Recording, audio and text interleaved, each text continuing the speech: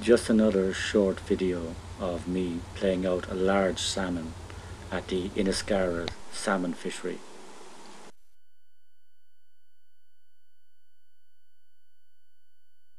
Normally I can play out a salmon with one hand and videotape with the other, but this big fish took my full concentration until it was almost landed.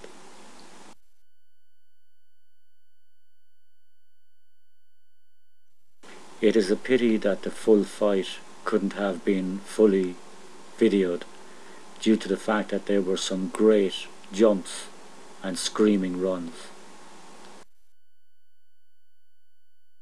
As you can see, even one push of its tail kicks out a lot of water.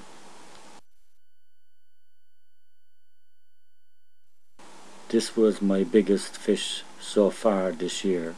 Unfortunately, it wasn't on a fly.